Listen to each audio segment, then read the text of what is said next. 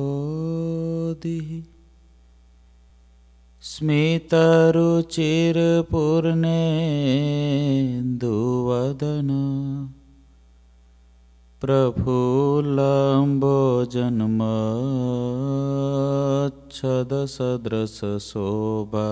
प्रफुल्लम्बोजन्मच्छदसदृशशोभाक्षियुगल कृपापारावार। श्रितसकलजीवातिसुखदो महाश्रेयो मूर्तिर्जयति सहि नारायणमुनि। वर्णिवेशरमणीयदर्शनं मन्दहासरुचिरान् पूजितं सुरनरोतमेर्मुदा धर्मनन्दनमहं विचिन्तये। ॐ अवतारिणे श्रीस्वामिनारायणाय नमो नमः। ॐ श्रीहरिकृष्णाय नमो नमः। ઓમ શ્રી પૂર્ણ પુરુષોત્તમાય નમો નમઃ. બોલો શ્રી સ્વામિનારાયણ ભગવાનની, શ્રી હરિકૃષ્ણ મહારાજની, શ્રી ગણશ્યા મહારાજની જય. બધાએ વાલા ભક્તોને એથી જય સ્વામિનારાયણ. વાલા ભક્તો ગરડા અંત્ય પ્રકરણનું ચોત્રીસમું વચનામૃત ચાલે છે. ભગવાન શ્રીહરિ ભગવાનને વિશે જ વાસના રહે એનો સુખમુનિના પ્રશ્નમાં ઉત્તર આપે છે. એક તો ભગવાનને વિશે પ્રીતિ, બીજું જગત તરફની આસક્તિ ન હોય, કહેતા વૈરાગ્ય દ્રઢ હોય, તો એને ભગવાનની વાસના રહે ત્રીજું વિશ્વાસ અને નિશ્ચય હોય, અને એમાં જો મહારાજ કે એને સ્વધર્મમાં દ્રઢ પ્રીતિ હોય, સ્વધર્મ બહુ દ્રઢતાથી પાડતો હોય, સાધુની સેવા કરતો હોય, તો એને પણ ભગવાનની વાસના થાય છે. ત્યાર પછી જે સુખમુનિએ શ્રીજી મહારાજને પ્રશ્ન પૂછ્યો, મહારાજ, ક્રોધ છે એ કામમાંથી ઉત્પન્ન થાય છે. જે વ્યક્તિને જે પદાર્થની ઈચ્છા હોય અને જેમાં મમત્વ બાંધેલું હોય, એક આમ આવી જાઉં ને એક આમ બે હોય, એક આમ બેહવાનું. જે વસ્તુમાં પોતે મમત્વ બાંધેલો હોય, જે વસ્તુની અંદર પોતે પોતાની માનીનતા બાંધેલી હોય, જેની અંદર પોતે અતિશય હેત કરેલું હોય, એનો કોઈ ભંગ કરે, ત્યારે વ્યક્તિને ક્રોધ થાય છે. ગરમ મગજ થઈ જાય છે. તો એવી પરિસ્થિતિ થાય તોય ક્રોધ ના થાય. એનો કોઈ ઉપાય ખરો? શ્રીજી મહારાજે એનો ઉપાય બતાવતા પહેલાં એક જીવ માત્રની એવી એક દ્રષ્ટિ છે કે હંમેશા પોતાને જે ઉપદેશ આપવાવાળા છે એના તરફ એ જોતો હોય છે અને જોવું પણ જોઈએ. મુમુક્ષુ હંમેશા વર્તન અને વાત એક સરખી છે કે નહીં એ જોતો હોય છે, એ જોવાનો એને અધિકાર છે, એને જોવું જ જોઈએ, જાણવું જ જોઈએ. જો વાત અને વર્તન જુદા છે, તો એવો પુરુષ ક્યારેય કલ્યાણનો દાતા થઈ શકતો નથી, આત્યંતિક કલ્યાણ આપી નથી શકતો. જેની વાત જુદી છે અને જેનું વર્તન જુદું છે, એટલે એ ભગવાનથી દૂર જ છે. અહીં મહારાજે મુમુક્ષુ માટેનો આ પ્રશ્ન છે, છતાંય મુમુક્ષુને ચેતવી દીધા છે કે તમે જ્યારે ભગવાનના મહાપુરુષો ક્રોધ ના કરવો, આવી વાત કરશે અને તમને એમાં ક્રોધના દર્શન થશે, ત્યારે તમને એવો વિચાર આવશે કે આ તો અમને ઉપદેશ આપે છે ક્રોધ ના કરવો પોતે તો ક્રોધ કરે છે. મોટા પુરુષ છે, એ મોટા પુરુષ જ્યારે એમ કહેશે, કોઈ ત્યાગી સાધુ એની પાસે રહેતા હોય, એને એમ કે શાંત સ્વભાવે રહેવું એ જ સાધુનો ધર્મ છે. મહારાજને શાંત સ્વભાવ ગમે છે. અને એવા ત્યાગી સાધુઓ ઉપર એ મોટા પુરુષ એને ધર્મ નિયમ પડાવવા માટે પાંચ કડક શબ્દ ક્રોધના દર્શન કરાવીને જ્યારે કરશે, ત્યારે ત્યાગી સાધુ તો જ્ઞાની છે. રાતને દિવસ શાસ્ત્રો વાંચે છે. એટલે એને એમ થશે કે આ સત્પુરુષ કહેવાય છે, બધું છે, પણ આપણને કે છે સાંધ પણ એ તો આખો દી ધુઆ પુવારે છે. આવો ભાવ થશે. એટલે શ્રીજી મહારાજે સૌથી પહેલાં ભગવાન કલ્યાણની ચિંતા પહેલી કરે છે. ક્રોધ હશે ને તોય શ્રીજી મહારાજ કે એનું કલ્યાણ કરી દઈશું, પણ જો કોઈ મોટા પુરુષમાં કુભાવ થઈ ગયો તેનું કલ્યાણ કોઈ રીતે નહીં થાય. એ કેન્સર છે. કેન્સર છે. પાકેલું ગુમડું હોય ને, એની દવા થાય. પણ કેન્સરની ગાંઠ હોય ને, એનું ઓપરેશન કરવું પડે, શરૂઆત હોય તો. અને જો પ્રસરી જાય, તો એનું મૃત્યુ જ થાય. એટલા માટે શ્રીજી મહારાજ, કોઈ મુમુક્ષુને મોટા પુરુષ પ્રત્યે કુભાવ ના થઈ જાય. મોટા પુરુષની પ્રકૃતિને અને એના ઉદ્દેશને જાણ્યા વિના કોઈ મોટા પુરુષનું જજમેન્ટ મુમુક્ષુ પાછો બુદ્ધિવાળો હોય અને બુદ્ધિવાળાનું જજમેન્ટ બહુ પરફેક્ટ હોય એવો એને પોતાને ભરોસો હોય. અને બુદ્ધિવાળો હંમેશા જજમેન્ટ કરતો જ હોય. આ દુનિયામાં બધા માણસો એકાબીજાને માપ્યા જ કરે છે. સાચી વાત તો એ છે. દરેક વ્યક્તિ એકાબીજાને માપ્યા જ કરતા હોય, માપ્યા જ કરતા હોય, માપ્યા જ કરતા હોય. બુદ્ધિનું કામ છે આ. એટલે જે મુમુક્ષુ છે એ મુમુક્ષુ બુદ્ધિવાળો છે. એ જ્યારે સત્પુરુષને વિશે ક્રોધ જોશે અને ત્યારે એને સત્પુરુષને વિશે એ ક્રોધના કારણે કુભાવ પેદા થશે. બીજું, સત્પુરુષ કોઈ બીજા મુમુક્ષુ ઉપર ક્રોધ કરે છે ત્યારે એને કુભાવ થશે. પણ જો એના જ સ્વભાવ ઉપર એને ડંખ મારી દીધો, તે કુભાવ ને અભાવ ને અવગુણ ને બધું ભેગું થઈને દ્રોહ તરફ લઈ જશે. એટલે શ્રીજી મહારાજે સૌથી પહેલાં મુમુક્ષુને ચેતવી દીધો કે મોટા પુરુષ ક્રોધ કરે છે ને, એ જીવના કલ્યાણને અર્થે કરે છે. એની દયા છે. એ ક્રોધને જે ગ્રહણ કરે છે, એની દયા છે. કોઈ વ્યક્તિ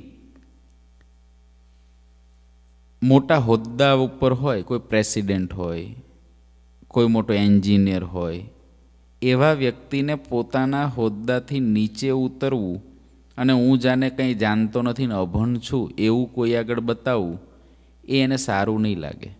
દરેક વ્યક્તિ પોતાનું ક્વોલિફિકેશન હંમેશા બીજાની આગળ જણાવવા માટેના પ્રયત્નમાં સતત રહેતો હોય છે કે હું આવો છું.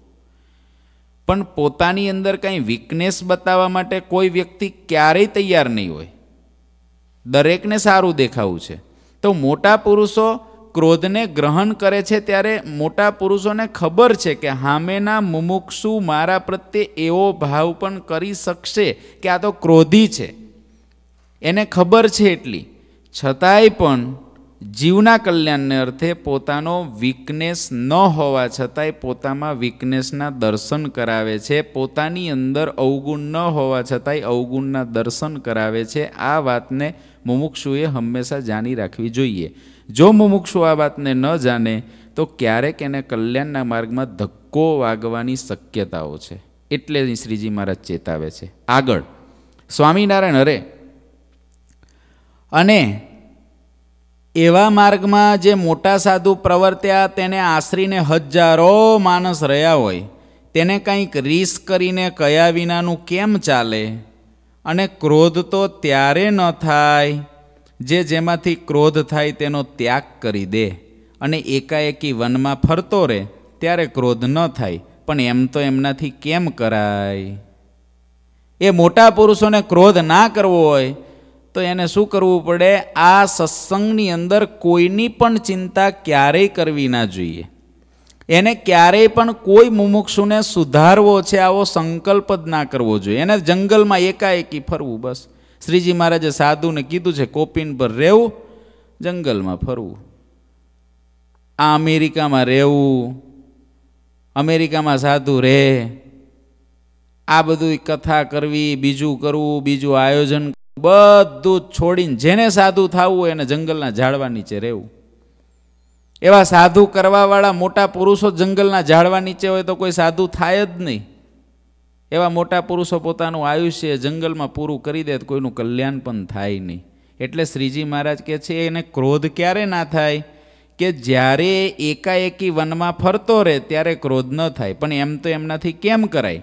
કેમ જે? એમને તો અનેક જીવને વાર્તા કરીને ભગવત સન્મુખ કરવા અને તેનું જે કલ્યાણ થાય, તેનું જે મહાફળ તે શાસ્ત્ર દ્રષ્ટિએ કરીને સમજ્યું છે. તથા એવી રીતની જે ભગવાનની આજ્ઞા તેનું મહાત્મ્ય જાણ્યું છે, માટે ક્રોધ થાય તો પણ એ જે પોતાનો શુભ સંકલ્પ તેનો ત્યાગ કરે જ નહીં.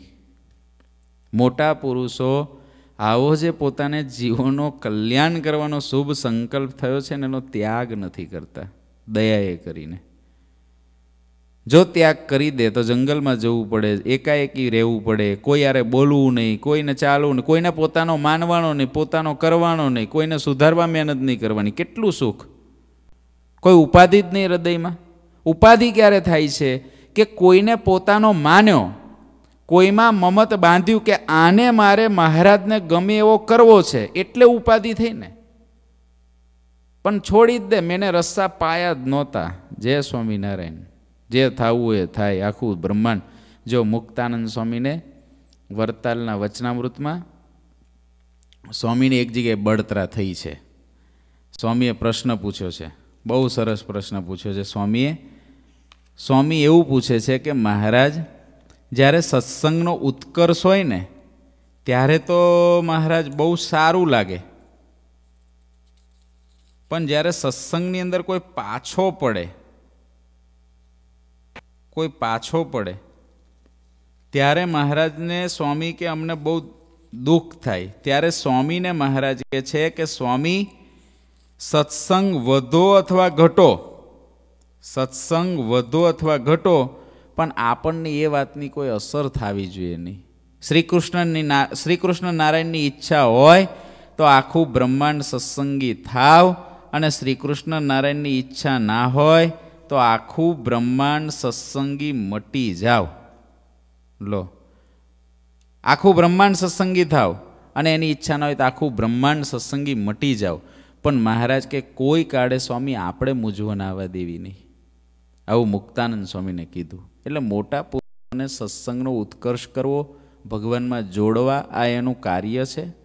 એટલે એમને એ પ્રવૃત્તિમાં ઉતરવું પડે અને ઉતરે ત્યારે આવા ક્રોધને પણ ગ્રહણ કરવો પડે, થોડું તપ્યા હોય એવું બતાવવું પડે. પણ મેં કીધું એમ કે એની ભેગા રહેવાથી ઓળખાય છે, જેને મળવે માન્યું કલ્યાણ રે તેને જોવા ઘડી ઘડીએ. જે મળવે માન્યું કલ્યાણ, એને જોવા ઘડી ઘડીએ. ખાતા પીતા જોતા જનાશે રે આશય એના અંતરનો. એને કેવું હોય છે? એને કેવું હોય છે? એને એવું હોય છે શું પદ છે? પરોપકારે પડ પડ મારે, ઉપજે ઈચ્છા અંતરથી. કેને દુઃખ દેવાનો દિલ મારે, ભૂલે ભૂંડો ભાવ નથી. આવી કડી છે ચોસઠ પદીમાં. કેને દુઃખ દેવાનો દિલ મારે, ભૂલે ભૂંડો ભાવ નથી. એવા મોટા પુરુષને કોઈને દુઃખી કરવો એવી એની ઈચ્છા જ નથી.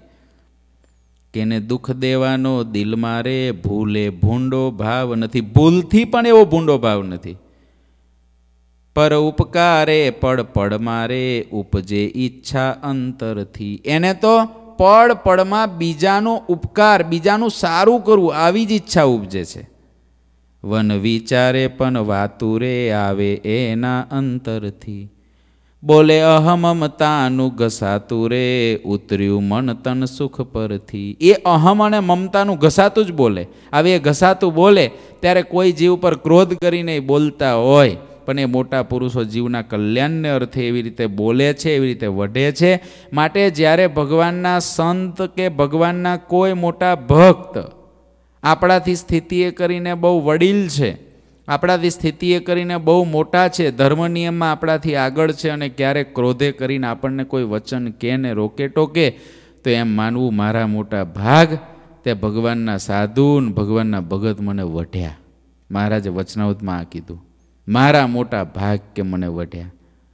આવું જો વિચારે તેનો રંગ ચડતો રહે.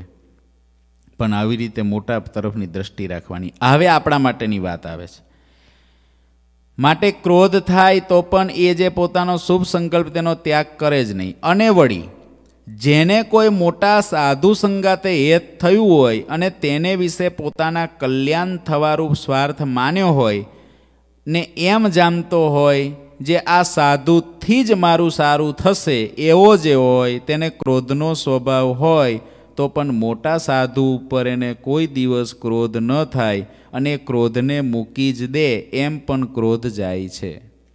બીજું, હવે આ મોટા પુરુષનું ચેપ્ટર પૂરું થઈ ગયું. હવે આપણું ચેપ્ટર ચાલુ થયું. કે મહારાજ એમ કે છે કે મુમુક્ષુ છે, એમાં ક્રોધ તો છે જ. ગરમ થવાનો સ્વભાવ તો એનો છે જ. વાત વાતમાં ખીજાવાનો એનો સ્વભાવ છે જ. પણ એને જે ક્રોધી માણસ હશે ને એને થશે શું કે એને પ્રસંગ જ્યારે ભગવાનના મોટા પુરુષ સાથે પડશે ને ત્યારે પણ એ ક્રોધ કરી બેસશે. એટલો જ ગરમ થઈ જશે. એને એવું હોય કે હું તો આવું ચલાવું જ નહીં. આવી એવી જ ઘટના જ્યારે મોટા પુરુષ હારે બને, ત્યારે પણ એનો પાવર એટલો જ ઊંચો જોતો રહે, હું તો આવું ચલાવું જ નહીં. પણ શ્રીજી મહારાજ કહે છે, જો એને સ્વાર્થ માન્યો હોય કે આ સાધુથી જ મારું સારું થશે, તો એનો ક્રોધ કરવાનો સ્વભાવ હોય તોય પણ એ મોટા સાધુ ઉપર ક્યારેય ક્રોધ ના કરે. ક્રોધ આવવાનું મુખ્ય કારણ છે અહંકાર. જીવના હૃદયમાં પડેલો અહંકાર. હું જે કરું છું એ બરાબર કરું છું. હું જે બોલું છું એ બરાબર બોલું છું. હું જે કાંઈ કરીશ એ બધું બરાબર જ કરીશ. આવા પ્રકારની પોતાની અનેક પ્રકારની માનીનતા લઈને બેઠેલો જીવ છે. એના કારણે એને જ્યારે મોટા સાધુ ટોકે, ત્યારે તરત એને ક્રોધ થઈ આવે. આ ખાસ કરીને સંતો માટેની વાત છે. આખો પ્રશ્ન શરૂ થાય છે ને સાધુ માટેનો છે. આનો અંત પણ સાધુ માટેનો છે, ખાસ કરીને. પરંતુ જેને એકાંતિકપણાને પામવું છે, એ બધાએ આ વાતને ધ્યાન રાખવી જોઈએ. આ સંતો માટે એટલા માટે છે કે સંતોને સાધુ સમુદાયને મોટા પુરુષની ભેગા વધારે રહેવાનું થાય. ગ્રહસ્થને એટલું રહેવાનું ન થાય. વચનામૃતની અંદર ઝાઝા ઉપદેશો મોટે ભાગના ઉપદેશો. ત્યાગીને ધ્યાનમાં રાખીને શ્રીજી મહારાજે કરેલા હોય એવા દેખાય છે. કારણ કે ગ્રહસ્થો તો એ સભામાં થોડાક જ બેઠા હોય, જાજા તો ત્યાગી જ બેઠા હોય. ગોપાળન સ્વામીની આખી વાતો ત્યાગી. કારણ કે ચર્ચા કરે કોણ? ત્યાગી જ કરે. એને ટાળવા માટે મહેનત કોણ કરે? સ્વભાવને ટાળવા માટે સાધુ મહેનત કરે. જે સાધુ છે, એ પોતાના સ્વભાવને ટાળે છે. ટાળે છે, ત્યારે મોટા પુરુષ રાજી થાય છે. અને જ્યારે એવો થઈ જાય, મોટા પુરુષનો અત્યંત રાજીપો થાય, એટલે નિર્દોષ, નિષ્કામ, નિર્મળ, નિષ્નેન બધાય સદગુણો એમાં આવે, ત્યારે સ્વયં પછી એ મુમુક્ષુ જ મોટા પુરુષને સમાન થઈ જાય છે. એ પણ અનંત જીવોના કલ્યાણ કરતો થઈ જાય છે. અહીં લખે છે કે મોટા સાધુ, એક સાધુ શ્રીજી મહારાજ વખતે હશે. વાત લખી છે અક્ષરાનંદ સ્વામીની વાતોમાં. તે મુક્તાનંદ સ્વામીને બધા સદગુરુ ભેગા થયા. અને એ સાધુને કે તમારે ગોપાળન સ્વામી સાથે જુનાગઢ જવાનું છે. સ્વામીને જુનાગઢ જવાનું ગોપાળન સ્વામી. તો કે તમારે જુનાગઢ જવાનું છે. મેં તો વાત વાંચી પહેલાં બહુ દાંત આવ્યા પહેલાં. એ સાધુ એવું કીધું, મુક્તાનંદ સ્વામીને બધા સદગુરુઓને કે મારે ગોપાળાનંદ સ્વામી ભેગા કેમ જવાનું છે? તો કે ભાઈ, સ્વામીને જોડની જરૂર હશે, એટલે તમારે જવાનું છે. સ્વામીએ તમને પસંદ કર્યા તમારે જવાનું. મોટા મોટા સદગુરુ નિત્યાનંદ સ્વામી, મુક્તાનંદ સ્વામી, આવા બધાએ કીધું. ઓલો કે પણ મને જ કેમ? મારો એવો શું વાંક છે તે મારે ગોપાળાનંદ સ્વામી આરે જવાનો? આવી વાત લખાની છે શાસ્ત્રોમાં. લખાઈ છે એટલે કહેવાય. જો એક વસ્તુ યાદ રાખવી. મનુષ્યનું શરીર હોય ને, ત્યાં બધા દેહભાવ હોય. તમે સંતોથી દૂર રહો, એટલે તમને સંતોમાં અલૌકિક ભાવ હોય અને તમે, તમારો મહિમા બહુ અમને લાગે કે આ ભક્તોને અમારો બહુ મહિમા છે. પણ તમે મહિનો, બે મહિના છ મહિના અમારી ભેગા રહો. રાતને દિવસ ખાવા, પીવા, બેસવા, ઉઠવા, નાવા, ધોવા અને બધી જગ્યાએ ભેગા ને ભેગા રહો. અને પછી તમને જેવી અલૌકિકતા દૂર કેમેરામાં બેહીને જે રહે છે, એ જ્યારે અહીં બાજુમાં પથારી કરીને રહે, ત્યારે મહિમા સમજાયો કહેવાય. મહિમા એમ નથી સમજાતો. જ્યારે આ શરીર, આ લોક જ એવો છે, અહીં દેહભાવ કલ્પાય છે. જેવી રીતે સૂર્ય વાદળાએ કરીને ઢંકાયેલો છે, એવી રીતે મોટા મુક્ત પુરુષો પણ દેહના આવરણે કરીને આ લોકમાં ઢંકાયેલા હોય. કોઈક બહુ મોટા મોટા મુક્તો બહુ મોટા મુમુક્ષો હોય તો અહીં ઢંકાયેલા હોય. અને એવા બધા ભાવ દેખાય. બ્રહ્માનંદ સ્વામી મુક્તાનંદ સ્વામી અબોલા થયા હાથ દીના. હવે આપણે એ સભામાં હોતા એકવીસમી સદીના ફોરવર્ડ માઇન્ડો મોડર્ન માઇન્ડો બધા આપણે બેઠા હોત એ સભામાં, તો આપણે ગોપાલ સ્વામી મુક, અરે મુક્તાનંદ સ્વામી બ્રહ્માનંદ સ્વામી એકેયમાંથી એકેય દંડવટ કરવા ના જાત. આપણે વિચારત કે લો, આવડા મોટા સદગુરુ આવે એ બેને જ અબોલા થયા આપણું હું. આપણને ઉપદેશ આપે છોડી દેવું, છોડતા શીખવું, અહમ ઓગાળવું, માન ના રાખવું અને એ બેન માન આવ્યું. આવું રિસર્ચ કરવાવાળા આપણે, આ જમાનામાં જાજા હોય, એ જમાનામાં હશે તો ખરા જ. એવાની કથાઓ શું લખાય? પણ આ જમાનામાં જાજા હોય, કારણ કે આપણી બુદ્ધિ આમ જાજી દેખાય છે. આપણે આ મોર્ડન જમાનાને કહેવાય પણ હળેલી જાજી છે. આપણને છિદ્ર દોષ, આ બધા દર્શન બહુ જલ્દી થઈ જાય. કારણ કે મેં કીધું ને, આપણે સતત એક થર્મોમીટર લઈને જ નીકળ્યા હોય છે. આ ભગત કેવા?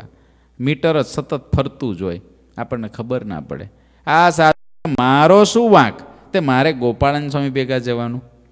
હવે વિચારો, આજે આપણને એમ થાય, મને ગોપાળન સ્વામી ભેગા રહેવાનું મળે તો, ઓહો, ગોપાળન સ્વામી ખાલી, ગોપાળન સ્વામીનું ધોત્યું ધોવા મળી જાય તો?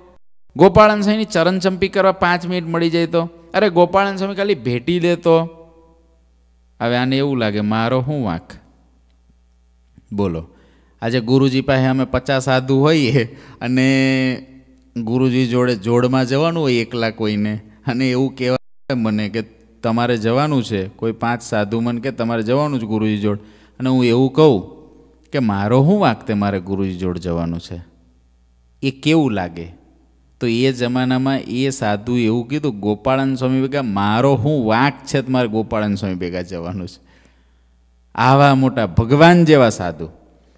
સદગુરુઓથી ના રહેવાયું એ કે, તમારો સ્વભાવ સુધારવા સ્વામી ભેગા જવાનું છે કે. કારણ કે તમે સ્વામી ભેગા જાઓ ને, તો તમારો સ્વભાવ હરખો થાય. બીજે કંઈ હરખો થાય એવો નથી.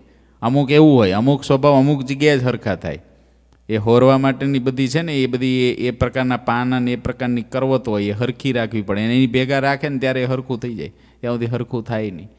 તો ગોપાળન સ્વામીએ કીધું, અરે પેલા સદગુરુએ કીધું, એ સાધુ શાસ્ત્રના પાને એવું લખાયું, ક્રોધિત થઈ ગયા. હું નહીં જ જાઉં કે. સદગુરુ કે, તમારે જવું જ પડશે. એ આખરે સત્સંગ છોડીને જતા રહ્યા.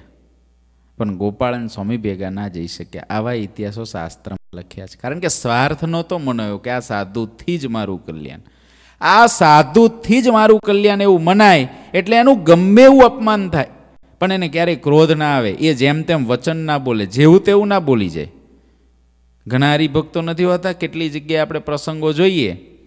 કંઈક જો કોઈક સાધુએ કડક વચન કહી દીધા હોય કે એના મનનું ધાર્યું ના કરવા દીધું હોય લો, ત્યારે આ તમારું જય સ્વામી કલ્યાણની ઘણી દુકાનો છે. આ દુકાન આ દુકાનને તાળું મારો ને બીજી દુકાન ગોતો. આ એજન્ટ બંધ. અક્ષરધામમાં જવા માટે તમારી લીધી હતી પેલું કે ને તમે પેલું શું રાખો? ઇન્સ્યોરન્સ રાખો ને, તમારી ઇન્સ્યોરન્સ કંપની રાખી હતી છોડી. બીજી. હાલો ને. આવાય હોય. ઉતારો ના મળ્યો હોય અને ક્રોધ થઈ જાય. અરે એને કદાચ ડીશ ના મળી હોય જમવાની અને સાધુ સાથે ક્રોધ થઈ જાય. આ તુચ્છ બુદ્ધિનો સત્સંગ કહેવાય. તુચ્છ બુદ્ધિનો કહેવાય. કોઈને સત્તા આપી હોય, મોટા પુરુષે કોઈ સત્તા આપી છે, કોઈ ત્યાગીને આપી, ગ્રહસ્થને આપી, કે ભાઈ તું કોઠારી. ચાલો ભાઈ, તમે એકાઉન્ટ સંભાળજો.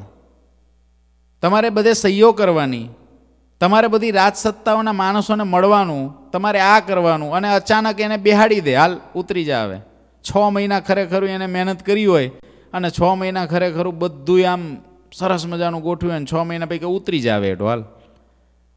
અને સારું કાંઈ ના થાય, ક્રોધ ના આવે મોટા પુરુષ ઉપર, એ તો જેને સ્વાર્થ માન્યો હોય, એને ના આવે. અક્ષરાનંદ સ્વામી, બ્રહ્માનંદ સ્વામીને જ્યારે વરતાલની અંદર પ્રશ્ન થયો, જે મેં આગળ એકવાર આ કથા કીધી છે કે બ્રહ્માનંદ સ્વામી પાસે પાર્ષદ હતો અને મહારાજનો પાર્ષદ હતો અને મહારાજ ગઢપુરથી આવ્યા અને મહારાજ પાસે જે ભેટ આવે, સ્વામી વરતાલનું મંદિર બાંધે સ્વામી કે ભેટ બધી વરતાલ રાખવાની. એમ પાર્ષદને કીધેલું, લઈ લેવાની. અને મહારાજની બાજુમાં ભગુજી, લેવા દે પૈસા. ભગુજી આંખ કાઢે, કોઈની તાકાત છે અડે.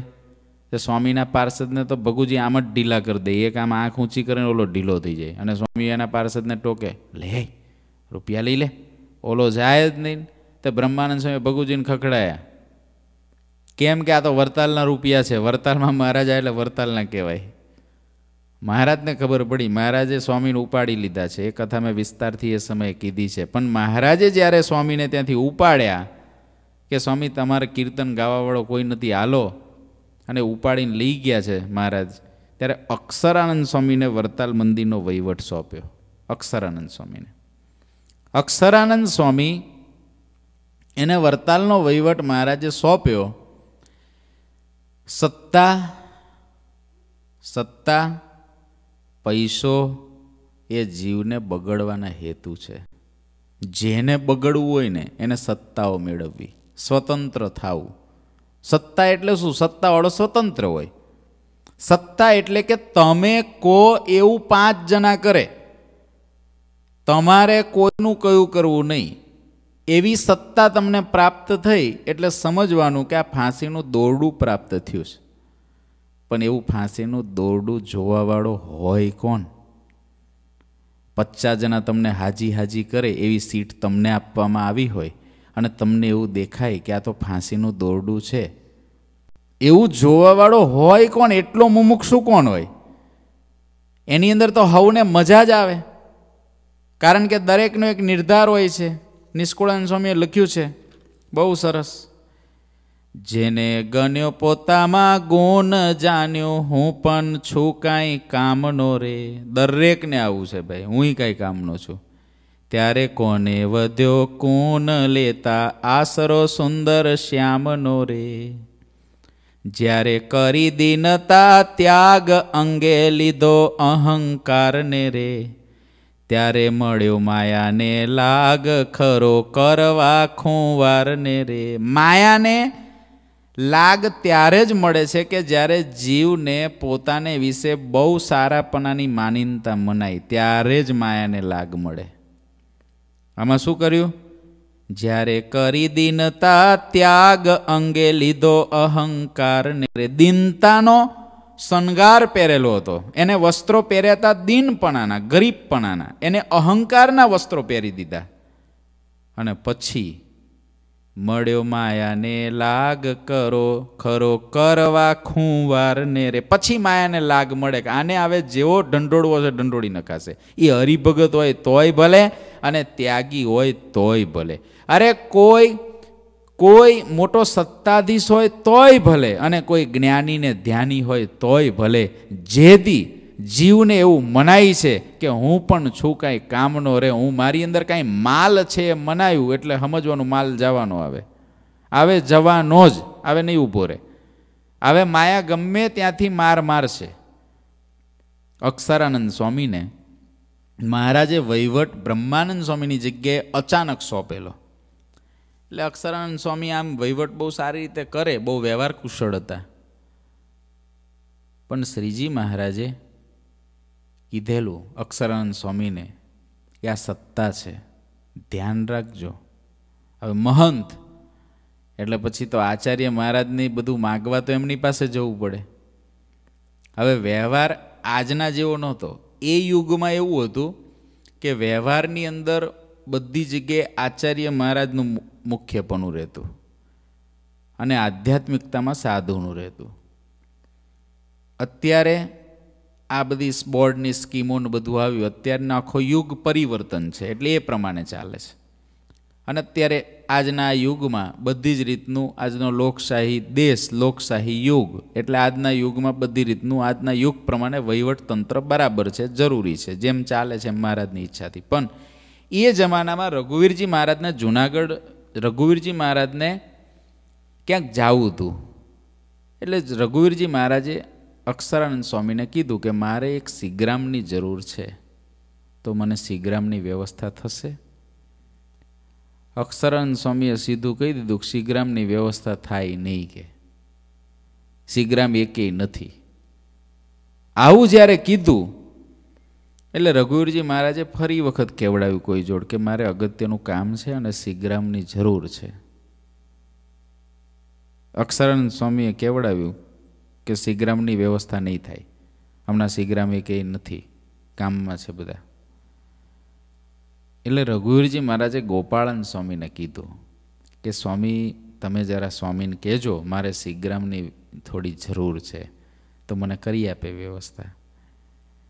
ગોપાળાનંદ સ્વામી તો બહુ મોટા પુરુષ. અક્ષરાનંદ સ્વામી પણ મુક્ત જ છે.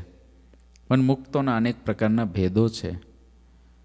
અને કોઈ મુક્ત દ્વારા મહારાજને મારાને તમારા જેવા મુમુક્ષુને સમજાવવું હોય, સમજાવતા હોય. દરેક પાત્રો છે એ તો. હું ઘણી વખત કહું છું કે નંદ સંતોના પાત્રોમાં હમણાં જ મેં બે ત્રણ દિવસ પહેલાં વાત કરી હતી ને કે ઘણા અજ્ઞાની છે કે જે એમ કે મુક્તાનંદ સ્વામીને ક્યાં નિશ્ચય હતો? કે આને ક્યાં નિશ્ચય હતો? ક્યારેય પણ નહીં. શ્રીજી મહારાજની સાથેના પાત્રોએ જે કંઈ કર્યું છે, ડ્રામા હતો. એ ડ્રામામાંથી મને તમને સમજાવ્યું. તમે એવું વિચારો કે જે મુક્તાનંદ સ્વામી વૈરાગ્યો જેને મારવા આવે, એને શાંત પાડી દે. આવો સાધુતા સંપન્ન સંત એને બ્રહ્માનંદ સ્વામી સાથે કોઈ દી અબોલા થાય. જે બ્રહ્માનંદ સ્વામી યતિ પુરુષ છે, જેને શ્રીજી મહારાજ અખંડ વશ છે જે બ્રહ્માનંદ સ્વામી આટલા સોનાનો ત્યાગ કરી અને જે એક કંતાન પહેરવા માટે, કોથળો પહેરવા માટે તૈયાર થાય, કાચા લોટના ગોળાઓ જે ખાય, એવા બ્રહ્માનંદ સ્વામી. જે મહાપુરુષની ફાંદ યાદ રહે અને ધામમાં જતો રહે માછીમાર એવા બ્રહ્માનંદ સ્વામી. એને મુક્તાનંદ સ્વામી જોડે અબોલા થતા હશે? ચેલા માટે થાય? કોઈ દી ના થાય. એની નજરમાં જ ના હોય, ચેલા અને શિષ્યને એ કશું, એની નજરમાં જ ના હોય. જીવનું કલ્યાણ કરવું આટલું નજરમાં હોય, બીજું કાંઈ ના હોય. પણ છતાં એ બધો ડ્રામા હતો. કોઈ પાછળના કોઈ પાછળના સંતો, ભક્તો એને શીખવાડવા માટે. અક્ષરાનંદ સ્વામીને, શ્રીજી મહારાજે ત્યાં એવું કરાવ્યું કે અક્ષરાનંદ સ્વામીને, ગોપાળાનંદ સ્વામીએ જોયું કે અક્ષરાનંદ સ્વામીને અહંકાર આવી ગયો છે. આ મહંતય મળીને એને અહંકાર આવી ગયો છે. રઘુવીરજી મહારાજ જેવા શ્રીજી મહારાજે જેને ગાદીએ બેસાડ્યા છે અને જે જે રામચંદ્રનો અવતાર છે રામા અવતાર છે, રઘુવીરજી મહારાજ. તો એ પોતે કે છે, તોય પણ સિગ્રામ ખાલી પડ્યો છે, છતાંય નથી આપતા. અરે ના પડ્યો હોય તો વ્યવસ્થા કરીને આપવો જોઈએ, આ કોણ માગે છે? એટલે ગોપાળન સ્વામીએ અક્ષરાનંદ સ્વામીને કીધું કે, સ્વામી, તમારે મારી સાથે જુનાગઢ આવવાનું છે. હવે આ તો વહીવટ કરવાવાળા હતા. બાંધકામ ચાલતું હોય, બીજું બધું ચાલતું હોય. એટલે અક્ષરાનંદ સ્વામી કે, સ્વામી, મારે બહુ બાંધકામ ચાલે છે અત્યારે, એટલે હું નવરો નથી કે. મારે બહુ કામ છે અહીંયા આગળ. ગોપાળાનંદ સ્વામી કે, તમારે જે બાંધકામ ચાલતું હોય. એટલે ગોપાળાનંદ સ્વામીને એક વખત આમ સ્વામીએ ભારે અવાજે કહી દીધું કે, મારે અહીં બાંધકામ, હું નહીં આવી શકું. આ સત્તા, કાર્ય, બધું જ એવું છે કે જે ભગવાનના ભક્તોને ગ્રહસ્થ કે ત્યાગી, બેયને માર્ગ ભૂલાવે છે. ઘણી વખત જોવા મળે, ગ્રહસ્થ હોય ને, તો એને જ્યાં સુધી સત્તા ના હોય ને, એને સત્તા હોય ને, પછી એનો પાવર જુદો થઈ જાય, આખો બોલો. સત્તા હોય ને, એનો પાવર જુદો થઈ જાય. એને થોડીક સત્તા આપો, થોડુંક કંઈક બોલવાનું આપો, થોડુંક કંઈક કરવાનું આપો, તરત જુદું થઈ જાય. મારા જેવો ત્યાગી હોય અને મોટા પુરુષો કંઈક રૂપાએ કરીને કંઈક થોડું હોપે કાર્ય. તરત જુદું થઈ જાય. એમાં ફેર ના પડે, એ તો બહુ વિચારશીલ હોય તો ના પડે, બહુ વિચારશીલ. નહીં તો એમાં ફેર પડી જ જાય. આ જીવનો સ્વભાવ છે, જન્મો જન્મનો આ જીવ છે ને, અહમ ખાઈ ખાઈને જ જીવે છે. અહમનો ખોરાક ખાધા વિના આને છે ને આફરો ચડે આફરો ચડે. નિર્મળતાનો, નિર્માનીપણાનો દાસત્વ ભાવના ખોરાક ખાવા માટે આ જીવ ટેવાયેલો નથી. એની હોજરીમાં એ ખોરાક રહેતો જ નથી. ઉલટી થઈ જાય છે. થોડી, થોડોક ખોરાક ખાઈને ત્યાં પાછું ઓલું એને દાટવું જ પડે. હા, દાસત્વનો ખોરાક થોડો ખાધો હોય ને તો દાસત્વના અહમરૂપી ખોરાક પાછો, એ પેલો પાંચસો ગ્રામ ખાધો હોય તો ઓલો પાંચ મન ખાવો પડે સામે. ત્યારે જ એને આમ સુખ રહે કે હું દાસત્વ ભાવવાળો. ત્યારે એને સુખ રહે. આવું બધું જીવના અનેક પ્રકારના માયાના રચેલા પેચ છે ને જીવ ઘણી બધી રીતે ફસાતો હોય છે. દરેક મુમુક્ષુએ પોતાના આત્મદર્શન નિત્ય કરવું જોઈએ. નિત્ય દિવસમાં એક વખત ઓછામાં ઓછું શાંત ચિત્તે બેસીને પોતાના આત્માનું દર્શન કરી લેવું જોઈએ કે હું મોક્ષના માર્ગે કઈ જગ્યાએ ઊભો છું. આટલું જેને દર્શન કરવાની ટેવ હશે, એને જ ખબર પડશે કે આ માયા અત્યારે ઠપાટ મારવા આવી હતી. જો, બાકી જે દર્શન જ નહીં કરતો હોય, એને કોઈ કાળે સત્સંગમાં વર્ષો જવા છતાંય, ત્યાગી અને ગૃહીમાં રહેવા છતાંય, શ્રીજી મહારાજ કે નામું નહીં માંડ્યું હોય તો એને નહીં ખબર પડે. અક્ષરાનંદ સ્વામીએ ભારે અવાજમાં કીધું, સ્વામી, મારે કામ છે. ગોપાળાનંદ સ્વામી કે, તમારે જે કામ હોય એ, આ મંદિરમાં ઘણા બીજા ત્યાગી તમારા જેવા છે કામ કરવાવાળા, એને હોપી દો. એક મહિનો તમારે મારી ભેગા આવવાનું જ છે. સ્વામીએ થોડું ગુસ્સે થઈને કીધું. પણ આમાં મહારાજે કીધું, જેને એવો સ્વાર્થ માન્યો હોય ને એમ જાણતો હોય કે આ સાધુથી જ મારું સારું થશે. અક્ષરાનંદ સ્વામીને એક વાત બહુ નક્કી ખબર હતી કે શ્રીજી મહારાજે ત્યાગી ગૃહિને આચાર્યોના કાંડા ગોપાળન સ્વામીને સોંપ્યા છે અને ગોપાળન સ્વામી એટલે ભગવાન સ્વામી નારાયણ જ બોલ્યા. એ બોલ્યા એટલે મહારાજ જ બોલ્યા. આવી એને દ્રઢ માનીનતા હતી. એટલે તરત સ્વામીએ ગમે એટલું કીધું, પોતે વહીવટના એક એમાં આવી ગયેલા હતા, આવેગમાં હતા. છતાંય પણ સ્વામીની મર્યાદા રાખીને સ્વામીને કે, હું તમારી યારે આવીશ. સ્વામી સાથે તૈયાર થયા. સ્વામીએ રસ્તે જાતા બસ સાધુના ધર્મની વાતો કરી. આપણે તો સાધુ છીએ. નિવૃત્તિ ધર્મ એ જ આપણું આભૂષણ છે. નિર્બંધતા નિર્બંધતા એ જ આપણું ઘરેનું છે. સાધુ તો કાદવમાં ઉતરેલો હોય તો એ કોરો જ બહાર નીકળે. વ્યવહાર છે, એ તો મરેલું ઢોર છે. એમાં મોટપ માનવા જેવી નથી. આપણી મોટપ તો મૂર્તિને ધારવામાં છે. આપણી મોટપ તો સાધુતા રાખવામાં છે. આપણી મોટપ તો દાસત્વ ભાવને નિર્માની પનામાં છે. આવી બધી અનેક પ્રકારની વાતો કરી અક્ષરાનંદ સ્વામી તો મુમુક્ષુ હતા, મની જ હતા, ઉપર ખાલી ધૂળ હતી એવું ચરિત્ર મહારાજે એમની જોડે કરાવ્યું છે. કારણ કે એનો નિર્ણય હોન તમે ન કરી શકીએ આવું ચરિત્ર વાંચીને કે ઉપર ધૂળ હતી કે અંદર ધૂળ હતી. એ નિર્ણય શ્રીજી મહારાજને કરવાનો છે. નંદ સંતોમાં અને શ્રીજી મહારાજ વખત વખતના ભક્તોમાં કોઈ જગ્યાએ ક્યાંય હાથ નાખવા જેવો નથી. એમ નહીં. હું તો કહું, એ સમયના નહીં અત્યારના નહીં. શું ખબર કોણ કઈ સ્થિતિએ ક્યાં મહારાજ સાથે કેવો હોય? એની આપણને ના ખબર હોય. આપણે આપણા આત્માને મહારાજમાં જોડવા રાતને દી મહેનત કરવી. બીજી બધી પંચાયતમાં કોઈ દી પડવું નહીં. સિવાય કોઈ સામેથી પ્રશ્નોત્તરી કરવા માટે આવે. કોઈ સામેથી તમારા સિદ્ધાંતો જે માનેલા છે, તમને જે મહારાજ અને મોટા પુરુષે સમજાવેલા છે, આજે કોઈ સર્વોપરિતાની બાબતમાં આવે, સાંભળી ના લેવાય, જવાબ દેવો પડે. આજે કોઈ ઉપાસનાની બાબતમાં આવે, એનો જવાબ દેવો પડે. આજે કોઈ સદગુરુની નિંદા બાબતમાં આવે, એનો જવાબ દેવો પડે. ત્યાં માયકાંગલા પણ નથી થવાનું, પાજી પડાવની છાયામાં દબાવવાનું પણ નથી. પણ એ વાત પણ મગજમાં ફિટ રાખવાની છે કે આપણે કોઈ ભગવાનના સંતો, ભક્તો અત્યાર આ લોકના અત્યારના હોય, પૂર્વેના હોય, ભવિષ્યમાં થવાવાળા હોય, કોઈના દ્રોહમાં કોઈના અભાવ અવગુણમાં નથી પડવું. કોઈનું કેલ્ક્યુલેશન કરવામાં આપણે નથી પડવું. આપણી જાતનું કેલ્ક્યુલેશન પહેલાં કરીએ. આપણું હરખું થઈ જાય તો પૂરું થઈ ગયું. આખો જગતમાં જે હશે, સત્સંગમાં જે હશે બાજુવાળામાં જે હશે, તમે જો પૂરા થઈ ગયા, તમારું કેલ્ક્યુલેશન ને તમારા સરવાળા બાદ બાકી બરાબર થઈ ગયા, બસ બહુ થઈ ગયું. આટલું કાફી છે. એટલે જીવને પાછી વૃત્તિ વાળતા શીખવાડવી. અક્ષરાનંદ સ્વામી પોલારપુર ગામની અંદર ગોપાળાનંદ સ્વામી હવારમાં પૂજા કરતા હતા અને અક્ષરાનંદ સ્વામી ગયા, સ્વામીને દંડવટ કર્યા. સ્વામીને દંડવટ કરીને આંખમાંથી આંસુડા દળદળ ચાલ્યા જાય અને સ્વામીને કે, સ્વામી, કેટલા વર્ષથી હું આ સત્સંગમાં છું, પણ સાચો સત્સંગી અને સાચો સાધુ તો આ જ થયો કે, તમારી ભેગા રહીને. આ વાતો સાંભળીને. જે ફેર ચડી ગયેલા હતા ને, એ મોટા પુરુષના શબ્દો દ્વારા પાછી વૃત્તિ વળી. મોટા પુરુષોનો, મોટા પુરુષનું બહુ મોટું લક્ષણ છે. એની ભેગા તમે રહો, એની ક્રિયાને તમે જો એનો શબ્દ તમને મળે, તમારી વૃત્તિ આત્મા પરખ થઈ જાય એ મોટો પુરુષ હોય. આત્મ મંથન કરાવે એ જ મોટા પુરુષ છે. બુદ્ધિનું મંથન ના થાય, આત્માનું મંથન થાય. આખો આત્મા વલોવી નાખે. મોટા પુરુષની ક્રિયા વર્તનને વાણી છે ને, આખો આત્મા વલોવી નાખે મોક્ષનો. અને એવા જે હોય, એના થકી જ એકાંતિક પેદા થાય. એવાથી થાય.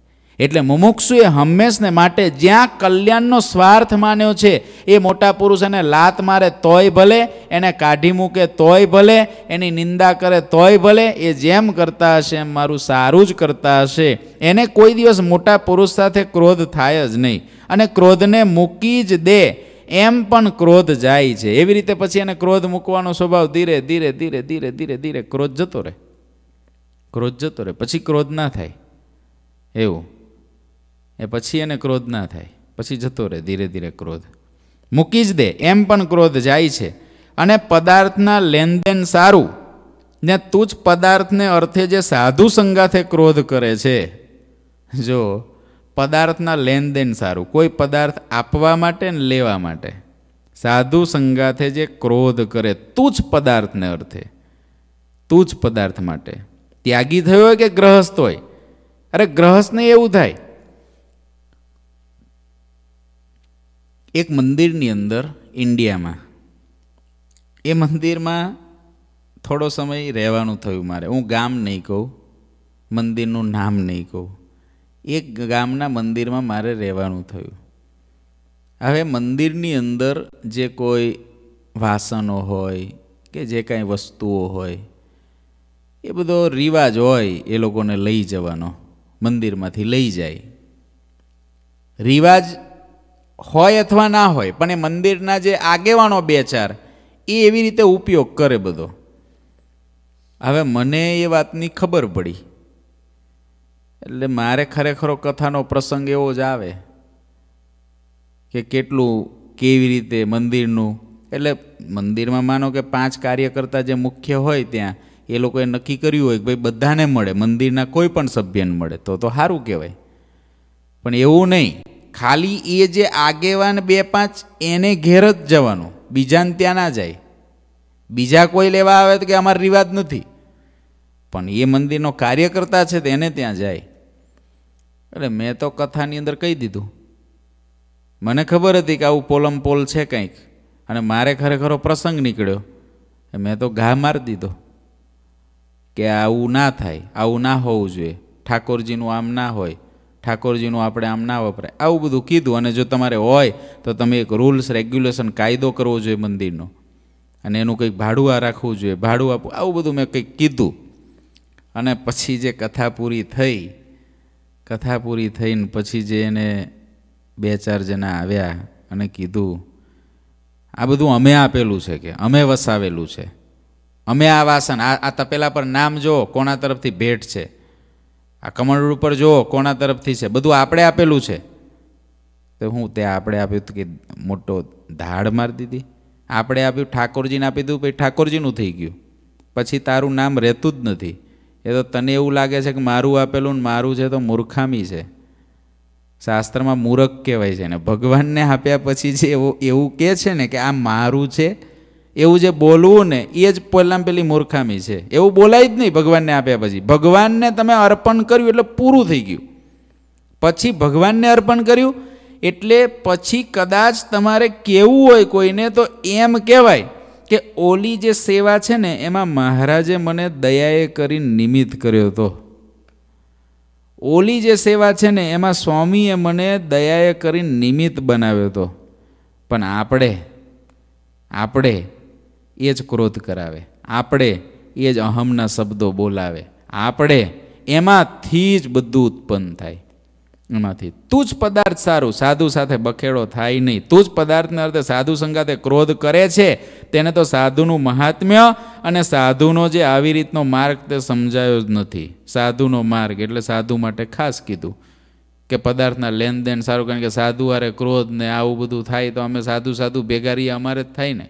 થાય કોને? એમાં કોઈક મારા જેવો વધારે થોડો સ્વભાવવાળો એને થાય આવા નીલકંઠ સ્વામીન, ઋષિ સ્વામીન બધા સંતોન શું થાય બિચારા? ગાય જેવા સાધુ. જેમ કહો એમ દાસતો ભાવવાળા. એને કાંઈ ના થાય. પણ કંઈક થોડું ઘણું કંઈક થોડો પાવર બાવર વાપરતો હોય, અને પાવરવાળો થોડો હોય તો એને થાય. એવું. પદાર્થના લેનદેન સારું ને તું જ પદાર્થને અર્થે સાધુ સંગાતે ક્રોધ કરે છે, તેને તો સાધુનું મહાત્મ્ય તથા સાધુનો જે આવી રીતનો માર્ગ તે સમજાયો જ નથી. અને સમજાયો હોય તો તું જ પદાર્થ સારું ક્રોધ કરે નહીં. અને બુદ્ધિવાન હોય, સમજુ હોય ને તું જ પદાર્થ સારું સાધુ સંગાથે ક્રોધ કરે તો તેની બુદ્ધિ રાજાના કામદાર જેવી વ્યવહારિક જાણવી રાજાના કામદાર જેવો છે એ તો. એ સાધુય નથી ને હરિભગતય નથી. એ તો કારભારી છે. એને ઉપમા આપવી હોય તો એવી જ અપાય કે આ કારભારી છે. એને સાધુય ના કહેવાય, એને હરિભગતય ના કહેવાય. અને આવા તો ઠામો ઠામ સત્સંગમાં કારભારીઓ પડ્યા છે. એને કારભારી જ કહેવાય. અને એને તમે એવું કહો ને, અમારા બહુ મોટા કારભારી છે. એને બહુ આનંદ થાય. ખુશ ખુશ થઈ જાય. અમારે એ કારભાર સંભાળે એટલે જોવાનું જ નહીં. ઘણા નથી બોલતા? અમે મંદિરોનો બહુ કારભાર કર્યો. આવા આવા હોય છે. મંદિરોની બહુ સેવા કરી નહીં. અમે તો મંદિરોનો બહુ કારભાર કર્યો. હા, અમારી સત્તાની અંદર તમે જોયું હતું? કેવું હતું અમારી સત્તામાં? અમારા શાસનમાં કેવું હતું? ભગત, જોયું હતું અમારું શાસન જોયું તમે કેવું? એવું છે. આ શાસન, સત્તા, કારભાર, આ બધો છે ને જીવને પોતાને વિશે અહમપણાનો જે ભાર છે ને અહમનો, એના શબ્દો છે. અને એટલે એ કરવું સારું લાગે, એવું બોલવું સારું લાગે, એવી કંઈ ઉપમા દે તો સારું લાગે, કારભાર એટલે મોટી ગાળ છે. એમાં શું લેવાનું છે? એમાં શું લેવાનું? કારભારી, હું બહુ મોટો કારભારી, એ તો મોટી ગાળ છે. તમને કોઈ કે ઓહો, આ તો અમારા બહુ મોટા કારભારી છે. અમારા કારભારી સ્વામી છે આ તો આખા. અમારા કારભારી છે આ તો. એ તો બહુ મોટી ગાઢ છે. અને હારી જીવને હારી લાગે. વાહ વાહ વાહ, મને સમજી ગયા, હું સમજી ગયા. ખરો છે, હા, જીવ તો મૂરખનો જામ છે, ઘણી વખત એવું લાગે. આપણો જીવ એટલે આપણે, હું તો પોતાને જ કહું છું, તમને કોઈને કહેતો નથી. આ જીવને પોતાના વખાણ થાય, પોતાની શુશ્રુષા થાય, પોતાનું કંઈક આગ નહીં હારું, કેવો ગાફલ ને, કેવો કેવો મૂરખ છે એમ, એવું થાય આપણને, કેવો મૂરખ છે. માટે જીવને જાગતો રાખવો રાજાના કામદાર જેવી બુદ્ધિ ના રાખવી. હાવ, રાજાના કારભારીઓ હોય એવી બુદ્ધિ ના રાખવી. આ તો કેવો અમૂલક સત્સંગ છે. જ્યાં અક્ષરરૂપ થવાની બુદ્ધિ કેળવવાની છે, જ્યાં પુરુષોત્તમ પુરુષોત્તમમય થવાની આપણે બુદ્ધિ કેળવવાની છે, જ્યાં અક્ષરરૂપ થઈને વર્તવાનું છે, જ્યાં ઇન્દ્રિયોને અંતઃકરણના એક પણ ભાવમાં ભળવાનું નથી, એવો દિવ્ય, જ્યાં ઉત્તમ નિર્વિકલ્પ નિશ્ચય મુક્તની સ્થિતિને પામવાનું છે અને ઉત્તમ નિર્વિકલ્પ નિશ્ચયને મેળવવાનો છે, એવા સત્સંગમાં જે રાજાની કામદાર જેવી બુદ્ધિથી જીવતો હોય, ધિકાર છે એવા જીવનને, એના કરતાં તો સત્સંગમાં ના આવ્યો હોય ને, તો કોક જન્મે એનું સારું થાત. રાજાના કામદારપણાની બુદ્ધિ મારીને તમારી કેટલી છે? રાત્રે ચિંતન કરજો પથારીમાં બેઠા કે રાજાના કામદાર જેવી બુદ્ધિ આપણી કેટલી છે? આપણા કલ્યાણ માટે જાજા વિચારો આવે તો આપણી એટલી ઓછી કહેવાય. પણ આપણને બધું જ બસ એવું જ ગમે અને એમાં જ આપણને માલ મનાય એ રાજાના કામદાર જેવી બુદ્ધિ કહેવાય. અને રાજાના કામદાર જેવી વ્યવહારિક જાણવી પણ સાધુપણાની બુદ્ધિ એને આવી જ નથી. સાધુપણાની બુદ્ધિ નથી. રાજાનો કામદાર છે. આ ભગવાન સ્વામિનારાયણના શબ્દો છે લો. એમ સમજવું એમ સમજવું. એક સરસ નાની કથા કહું તમને, જો પછી કથા પૂરી કરી દઉં. આજે વચનાવત પૂરું કરવું છે ને. લોયામાં શ્રીજી મહારાજ કહે મુનિબાવા ભારે પ્રતિષ્ઠાને મોક્ષના ખપવાળા હતા. મુનિબાવા સુરતના. લોયામાં મહારાજ એની વાત કરે છે. આપણા સંતોની અલૌકિક, પરમ પવિત્ર રીત તથા મુક્તાનંદ સ્વામીની વાતોથી તેમને અમારી નિષ્ઠા થઈ. સંતોની રીત જોઈ અને મુક્તાનંદ સ્વામીની વાતો સાંભળીને એમને નિષ્ઠા થઈ હતી. જ્યાં જાય ત્યાં રાજાને ઉમરાઓ તેના સન્માન કરે છે. મુનિ બાવાના બહુ ચેલાઓ હતા. અર્દેસર પારસી પણ મુનિ બાવાના ચેલા હતા. મોટા મોટા રાજાઓ એનું સન્માન કરતા. અને કહે તેમ લોકો વર્તે છે. મુનિ બાવા કે એમ જ લોકો વર્તે. તેમને કેટલાય શિષ્યો છે. સો સો રૂપિયાના જોડા અને માથે છત્ર તેમને ધરે છે. મુનિ બાબાનો કેવી સાહેબી હતી. સો સો રૂપિયાના જોડા અને માથે છત્ર ધરે છે. અને જોગી, જતી, સંન્યાસી અને ભેગધારીઓમાં તેમનું સારું માન છે. પોતે ગૌડ વિપ્ર છે. નવાબ પણ તેમને દેખીને અંજાઈ જાય છે. રાજાઓ પણ એમને દેખીને અંજાઈ જાય. એવા છે. પીરુસા અને અર્દેસર પારસી ભાઈઓએ પણ તેમના વચનથી સત્સંગ કર્યો છે. પીરુસા, અર્દેસરના ભાઈ અને અર્દેસર પારસી, આ બે મુનિબાવાના શિષ્યો હતા અને મુનિબાવા સ્વામિનારાયણ ભગવાનના આશ્રિત થયા એટલે એના કહેવાથી એ બે પણ સત્સંગ રાખ્યો છે. એમ મહારાજ પોતે કહે છે. અને અમને ભગવાન માને છે. મુનિ બાવા શ્રીજી મહારાજ કે અમને ભગવાન માને છે. તમે વિચારો તો ખરા. હજારો શિષ્યોનો ગુરુ હોય અને આટલા નવાબો જેને માનતા હોય સો સો રૂપિયાના જોડા એ જમાનામાં પહેરતા હોય છત્ર જેના માથે ધરે મુનિ બાવો, શ્રીજી મહારાજને ભગવાન માને આ જ ભગવાન સ્વામિનારાયણનું સર્વોપરીપણું છે. આવા સુખનો ત્યાગ કરી તેમને સત્સંગ કર્યો છે. મુક્ત મુનિ અને બ્રહ્મ મુનિ વિના કોઈ તેમની મોટાઈ જાણતા નથી. આ બે સાધુઓને ખબર છે કે મુનિ બાવાની હું મોટાઈ છે. ત્રીસ વર્ષના થયા, ત્યારથી તે જગતના પરમંશ થયા છે. બાર વર્ષ મૌન રાખ્યું. મુનિ બાબાએ શું શું કર્યું છે? ત્રીસ વર્ષના હતા, ત્યારથી પરમંશ થયા. બાર વર્ષ તો એમણે મૌન રાખ્યું હતું. બાજરાનો લોટ કેવળ મીઠું નાખી એકવાર પીતા. આ મુનિબાવાને સત્સંગ થતા પહેલાંના સાધનો. બાજરાનો લોટ મીઠું નાખીને એક જ વાર પીવે. નારીનો પ્રસંગ રાખતા નહીં, ચુસ્ત બ્રહ્મચારી હતા. બીજા લબાડ પરમંશનો યોગ રાખતા નહીં. જેવો તેવો લબાડ તો ફાવતો જ નહોતો એને. પાસઠની સાલમાં સુરતમાં સલાટ પરમાં નવાબની વાડી છે, ત્યાં ભિક્ષા માગી ખાતા. પાસઠની સાલમાં. પરમહંસોને પ્રથમ દીઠા. અઢારસો ને પાસઠમાં સંતોને પહેલી વાર જોયા. ત્યારે સંતો ભગવાનની કથા વાર્તાને કીર્તન કરતા હતા. ભિક્ષામાં મળે તે ભેગું કરીને ગોળા વાળીને જમતા. પદાર્થ માટે કોઈને ક્યારે ઉપદેશ કરતા નહીં. એક એક એક મુનિ વાત કહે ને બીજા સૌ સાંભળતા. મુનિ બાબાએ આ જોયું કે સંતો ત્યાં રે શહેરમાં ફરે, ગોળા ખાય, જે લાવે, ભિક્ષામાં લાવે, એના ગોળા કરીને ખાય, એક સાધુ વાતો કરે, બીજા બધા સાધુ વાતો સાંભળતા હોય, આવી રીત મુનિ બાબાએ જોઈ.